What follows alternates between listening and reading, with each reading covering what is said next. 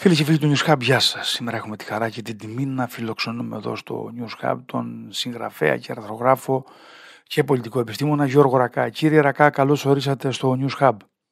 Γεια σας, γεια σας. Σας ευχαριστώ ιδιαίτερα για την πρόσκληση. Κύριε Ρακά, πρόσφατα δημοσίευσατε ένα άρθρο στον ιστιότοπο Άρδιν με τίτλο «Με τι συνεπάγεται, τι συνεπάγεται ο, ο ακριτικός ρόλος της Ελλάδος». Ε, αρχικά ξεκινάτε το κείμενό σας και παρουσιάζετε μια διελκυστίδα. Μια διελκυστίδα ανάμεσα σε μια πάγια πολιτική που έχει η Ελλάδα, που είναι ας πούμε προσαρμοσμένη και προσαρτημένη στο άρμα της δύσης και στην πολιτική του ευρασιανισμού που πασχίζει να καθιερωθεί μέσα και ιδεολογικά μέσα στη χώρα μας. Ενώ το, το δεύτερο ρεύμα, όπως γράφεται, προωθεί και το δόγμα της ουδετερότητας και θα θέλαμε μέσα από αυτό να μας βάλετε λίγο στην ιδέα του άρθρου σας. Κοιτάξτε, καταρχάς ε, θα πρέπει να δούμε ποιοι αφισβητούν ε, την αναγκαιότητα μιας ακριτικής στρατηγικής εκ μέρους της, Ελλά, της Ελλάδος. Ε, είναι δύο ε, τα ιδεολογικά ρεύματα, αν θέλετε, τα οποία προβαίνουν σε αυτήν την αφισβήτηση. Το μεν είναι εκείνο που τοποθετείται φιλικά ως προς την ιδεολογία του ευρασιατικού άξονα και ιδίως σε σχέση με τον Πούτιν, την ε, Ρωσία και ούτω καθεξής, το οποίο λέει ότι δεν θέλουμε να είμαστε ακρίτες της δύσης, διότι αφισβητούν την τοποθέτηση της Ελλάδος στη Δύση και προκρίνουν εναντί αυτής την περίφημη ουδετερότητα. Θα πρέπει να δούμε όμως ιστορικά ότι επειδή η Ελλάδα ήταν ε, και είναι μια χώρα η οποία αντικειμενικά από τη γεωγραφία, αν θέλετε, ε, ανήκει στις ναυτικές δυνάμεις, κάτι το οποίο κατά το παρελθόν το, είχε, το, το έχουν ε, παραδεχθεί όλοι από τον Ιωάννη μεταξά μέχρι ακόμα και τον Νίκο Ζαχαριάδη. Έτσι. Δηλαδή δεν είναι κάτι καινοφανές.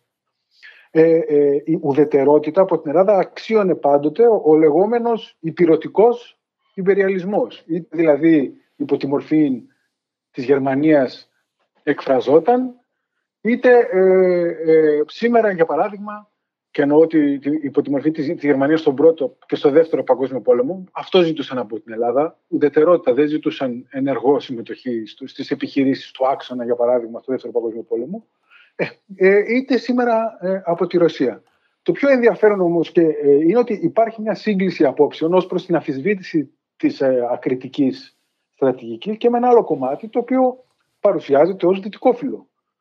Ε, και λέει ότι ουσιαστικά και η Αμερική και οι ευρωπαϊκές δυνάμεις κρίνουν πως η, Τουρκία είναι πολύ μεγάλη για να απολεστεί για το δυτικό στρατόπεδο και άρα ε, είναι λάθος να προκρίνουμε μια κριτική στρατηγική. Εκείνο που έχουμε να κάνουμε, ε, παράλληλα βέβαια και με τον εξοπλισμό της χώρας, εκεί δεν έχουν ενιαία άποψη. Ε, υπάρχουν άλλοι που, λέει, που επιμένουν σε εξοπλιστικές δαπάνες και λένε ότι ανεξάρτητα από την πορεία επαναπροσέγγισης της Τουρκίας στη Δύση και τις διαπραγματεύσεις ελληνοτουρκικέ, θα πρέπει να συνεχίσουμε να εξοπλιζόμαστε και άλλοι που λένε ότι όχι, αυτό είναι μια στρατηγική, ε, αν θέλετε, ε, της έντασης που δεν θα μας οδηγήσει με τους γείτονες σε, σε ασφαλή μονοπάτια. Σε οποιαδήποτε περίπτωση, ε, αυτό το κομμάτι κάνει λάθος και το, οποίο ε, έχουμε ακούσει και τον Πρωθυπουργό να εκφράζεται κατά καιρούς, όχι πάντα. Ε, σε σχέση με τις ε, θετικές του προσδοκίες ότι η Τουρκία θα, θα επανέλθει στη Δύση και άρα θα βάλει νερό στο κρασί της. Και το ΕΛΙΑΜΕΠ ως Ινστιτούτο έχει δημοσιεύσει ε, πιο εχμηρά κείμενα σε σχέση με αυτή, υπέρ αυτής της άποψης. Ε, το ακούμε από, από πανεπιστημιακούς και από κόμματα της αντιπολίτευσης και ούτω καθεξής. Ε, εκεί που σφάλουν είναι ότι η, η Τουρκία έχει αποφασίσει να, να μην ε, ε, ε, αποτελεί κομμάτι, αν θέλετε, του, του, του, του Βορειοατλαντικού Συμφώνου του ΝΑΤΟ με τον τρόπο που ήταν μέχρι τη δεκαετία του 70 ή του 80. Και έχει αποφασίσει να μην ε, ε, κοιτάει μόνο προς τη Δύση. Και ε, αυτό, αυτό είναι μια διαδικασία που έχει διαρκέσει αρκετές δεκαετίες πλέον ε, και, και, και, η οποία αν, ε, αν δεν πλατιάζω μπορώ να εξηγήσω γιατί Θα το δούμε αυτό και στη συνέχεια γιατί παρουσιάζεται ότι και από τις δύο πλευρές του Ατλαντικού υπάρχουν ας πούμε δυνάμεις που είναι πάνω σε αυτό, πάνω στον ευρασιανισμό δηλαδή. Πάντως επειδή αναφερθήκατε στο Μεταξά, στο τέλος ακόμα και ο, ο, ο Ιωάννης Μεταξάς που ήταν από τους φανατικούς τη, υπέρ ας πούμε, της ουδετερότητας και, με τις, ε, και την συμμαχία με τις υπηρετικές δυνάμεις στο τέλος ε, αποδέχτηκαν την πολιτική του Βενιζέλου ας πούμε και ότι έπρεπε να ταχθούν με τις ναυτικές δυνάμεις. Καλά κάνετε βέβαια και το εντοπίζετε. Εν τούτης όμως, για να προχωρήσουμε λίγο, η, η, η δυτικόφιλη όπως παρουσιάζεται στο κείμενο σας και η δυτικόφιλη πλευρά ενώ παρουσιάζει πλεονεκτήματα ε, της ε, συμμαχίας με τη Δύση αγνοεί σοβαρά εσωτερικά προβλήματα που υπάρχουν εντός τα οποία τα εντοπίζετε και τα αναλύετε. Δηλαδή είναι η κουλτούρα του ΓΟΚ από τη μια και ο τραμπισμός στην Αμερική. Ε, παρουσιάζεται τα εσωτερικά προβλήματα της Γαλλίας ε, μέσα από την πολιτισμικότητα και την εσωτερική αποσύνδεση που έχει την κοινωνική και το καθεξής. Θα θέλουμε σε αυτά να σταθείτε λίγο. Ναι, ε, ε, καταρχάς ε, θα πρέπει να, να δούμε αν το, το λεγόμενο και κατευναστικό στρατόπεδο, το οποίο αφισβητεί την ακριτική στρατηγική της Ελλάδος, τοποθετείται ε, και είναι όντως δυτικόφιλο. Διότι σήμερα εγώ πιστεύω για παράδειγμα ότι ε, μια πολιτική που θέλει να τραβήξει την Τουρκία προς τη Δύση, αυτή τη στιγμή η Τουρκία έχει αυτονομηθεί και ε, ουσιαστικά θέλει να προσεγγίσει τη Δύση προκειμένου να, να εξαρτηθεί η Δύση περισσότερο από την Τουρκία ως προς τη συναρμολόγηση ενεργειακά, ως προς τους εκβιασμούς που διαπράττει σε σχέση με τα μεταναστευτικά ρεύματα. Επομένως, μια κατευναστική πολιτική έναντι της Τουρκίας θίγει την ευρωπαϊκή ανεξαρτησία, θίγει την ευρωπαϊκή ε, ε, αυτοδυναμία και κατ' επέκταση λειτουργεί και ενάντια στα συμφέροντα ε, της Δυτικής Συμμαχίας. Επομένως, αμφισβητώ ότι πλέον ε, είναι ε, δυτικόφιλη ή, ή, ή, εν πάση περιπτώσει, αυθεντικά δυτική η στρατηγική του κατευνασμού. Επειδή ακριβώς παραγνωρίζει το γεγονός ότι η Τουρκία έχει ενταχθεί στον ευρασιατικό άξονα, αποτελεί ιδιαίτερη της ε, συνιστόσα και έχει το δικό της στρατηγικό προγραμματισμό για να, να καταστεί ανεξάρτητη δύναμη, αν όχι αυτήν την επόμενη δεκαετία. Από εκεί και πέρα, ένα άλλο κομμάτι το οποίο δυστυχώς και ο Πρωθυπουργός δεν λαμβάνει υπόψη του, είναι ότι αυτό που λέμε τα παραδοσιακά κέντρα ισχύω τη Δύση, ε, είναι, ε, η Αμερική, έτσι, η Γαλλία, ε, η Αγγλία, η Γερμανία, βρίσκονται σε μια διαδικασία ιστορικής πτώσης. Δηλαδή, ολοκληρώνουν έναν κύκλο, ο οποίος κάποτε ήταν ε, ανωδικός και τώρα είναι πτωτικός. Και αυτό μπορούμε να το καταλάβουμε καλύτερα ε, στο πώς γιγαντώνεται ιδεολογικά ε, ένα τεράστιο ρεύμα αυτοαμφισβήτησης, δηλαδή αποδόμησης της ιστορίας των κεκτημένων του δυτικού πολιτισμού, ε, του, του κύρους του, αν θέλετε, από τις ίδιες τις ελίτ. Διότι αυτό που λέμε κίνημα woke δεν είναι τίποτα άλλο από ένα κίνημα κυρίως των ελίτ ή των ε, μορφωμένων μεσαίων προς ανώτερων στρωμάτων, τα οποία ουσιαστικά επιτίθενται ενάντια στον εθνικό ε, κορμό, όχι μόνο τον εθνικό κορμό, τον κοινωνικό, αλλά και τον πνευματικό. Ε, αυτό όμως είναι που ουσιαστικά δεν χειροπόδαρα τη Δύση και την αποτρέπει από το να εξελίξει τις, συμμαχίες, τις συμμαχίες της ε, και να αποκτήσουν και πολιτιστικό βάθος και βάθος αξιών και βάθος, αν θέλετε, ενός νέου μοντέλου και μιας νέας πρότασης την οποία να κομίζεται προς τον κόσμο. Όπως έκανε, για παράδειγμα, ε, παλαιότερα και έτσι στοιχειοθετούσε την ήπια ισχύ της. Θέλω να πω ότι ακόμα και ο αντιμπεριαλισμός στην εποχή της δεκαετίας του 50 ή του 60, ε, το μεγαλύτερο κομμάτι της ιδεολογικής παραγωγής του συνέβαινε στη Δύση.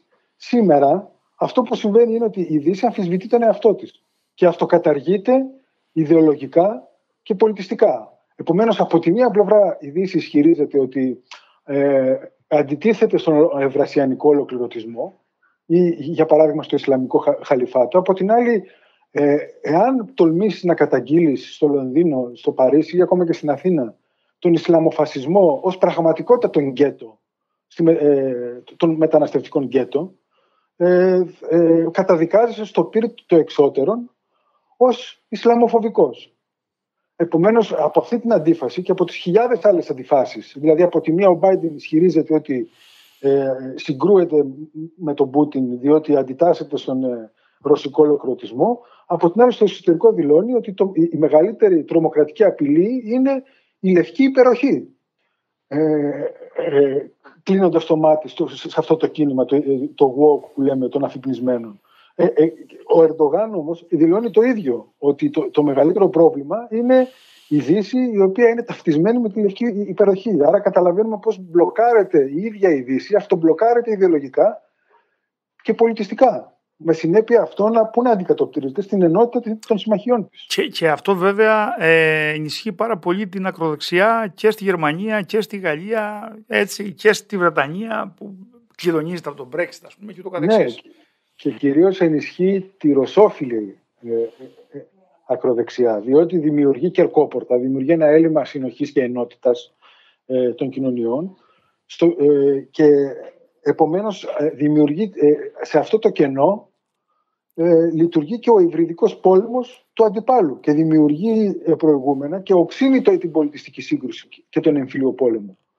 Άρα η ελκυστικότητα της δύσης, για να συνοψίσουμε, δεν είναι η ίδια που ήταν πριν από δύο ή τρεις δεκαετίες και αυτό φαίνεται και από τη συμπεριφορά και από τις εξελίξεις στην Αφρική, φαίνεται και από τη συμπεριφορά αρκετών μεσανατολικών δυνάμεων όπως η Σαουδική Αραβία η οποία το σκέφτεται και αληθορίζει προς την Κίνα. Δηλαδή, αυτό εκεί, εκεί ναι. θέλω να σταθούμε λίγο κύριε Ρακά γιατί ε, αυτό το έχετε δείξει σε μια μεγάλη ενότητα στο κείμενό σας.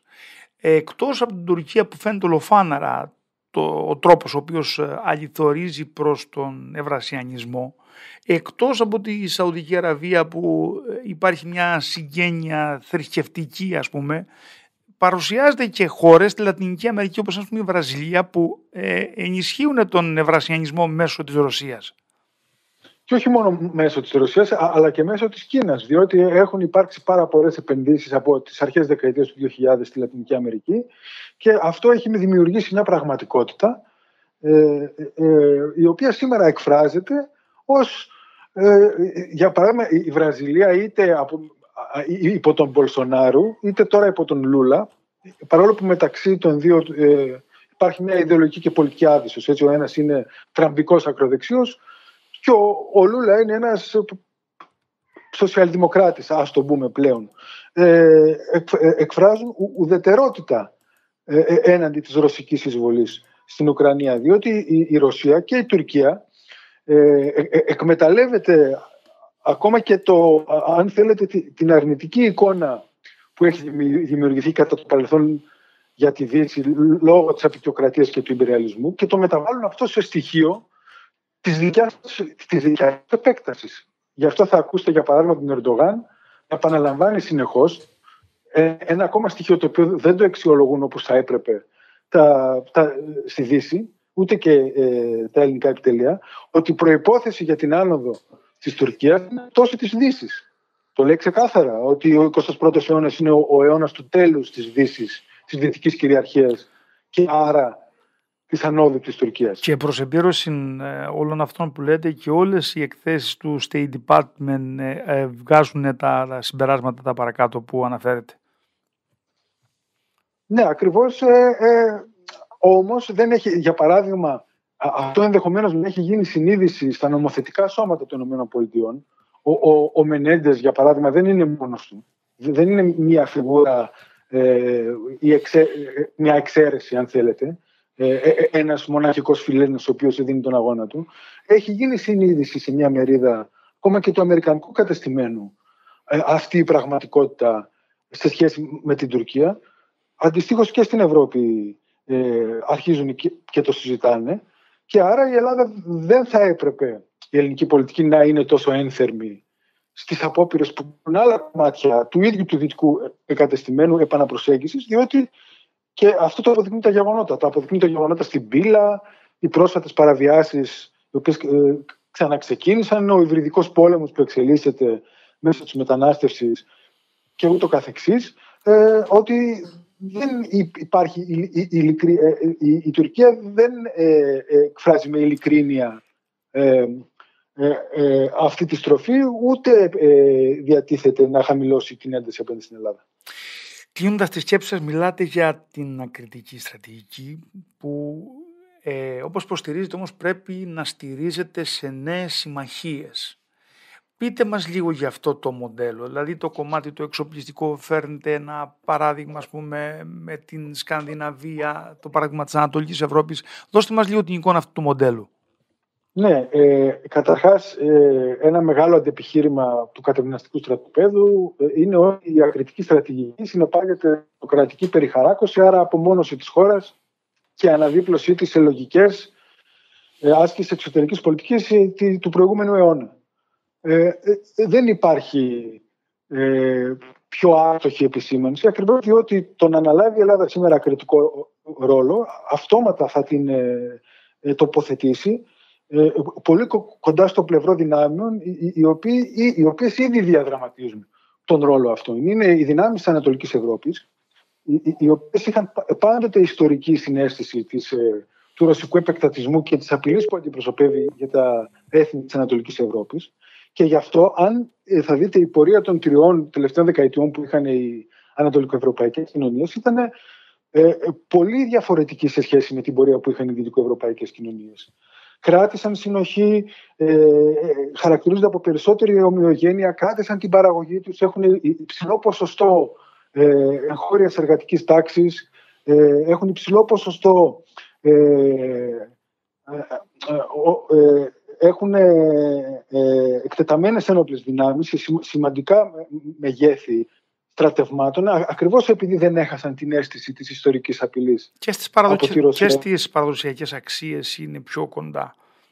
Ε, τουλάχιστον ε, μπορούν και τη συνθέτουν με μεγαλύτερη επιτυχία με μια ευρωπαϊκή πορεία, με το αίτημα της δημοκρατίας, επειδή ακριβώς, το λέει ο Κούντερα κάπου, ε, ε, να φανταστείτε, και, και είναι πολύ αυστοχή η επισήμανση του, ο Κούντερα λέει κάπου ότι ο Μάιος του 68 στην, ε, στην, στο Παρίσι εξέφραζε μια τάση αποδόμησης και ανήσης. Ο, ο Μάιος του 68 στην Ανατολική Ευρώπη υπερασπιζόταν τόσο το χριστιανισμό, ο οποίος ήταν διοκόμενος από το σοβιετικό καθεστώς, όσο και την ελευθερία της έκφρασης, ε, ε, το, το ελεύθερο πνεύμα, ε, την ελευθερία στην τέχνη, πράγματα που επίσης καταπίεζε το Σοβιετικό καθεστώς. Άρα έχει μια εντελώς διαφορετική πορεία και άλλες ισορροπίες η Ανατολική Ευρώπη, με συνέπεια σήμερα να, να βρίσκεται σε, τολμώ να πω, σε καλύτερη κατάσταση από άλλες χώρες της Δυτικής και αυτό σίγουρα θα φανεί και στους συσχετισμούς ε, και στην ισορροπία της ισχύως. Δηλαδή ούτως ή άλλως μετά την ε, επιτυχή αντίσταση της Ουκρανίας, η οποία ας ελπίσουμε ότι ε, φορά, αλλά ούτως ή άλλως, ακόμα και τώρα, το κέντρο βάρος έχει μετατεθεί προς την Πολωνία, έχει μετατεθεί προς την Τσεχία, έχει μετατεθεί προς την Εστονία και τη Λετωνία. Και αυτά είναι νέα κέντρα, με σημαντική, αν θέλετε, ακόμα και οικονομική ε, ε, ε, ένα οικονομικό αποτύπωμα που περιλαμβάνει και νέες τεχνολογίες και ακολουθεί και η Σκανδιναβία. Η Σκανδιναβία πραγματοποιεί μια μεγάλη στροφή τα τελευταία χρόνια.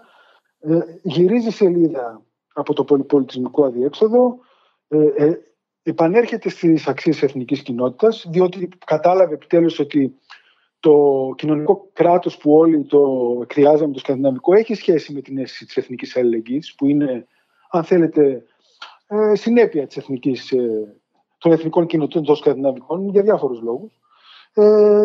Ε, και εκεί υπάρχουν σημαντικοί, σημαντικοί, ε, αν θέλετε, σημα, σημαντικός παραγωγικός ιστός, για παράδειγμα, στη Σουηδία. Η Σουηδία είναι μια, μια χώρα 10 εκατομμυρίων, φτιάχνει αυτοκίνητα, φτιάχνει αεροπλάνα.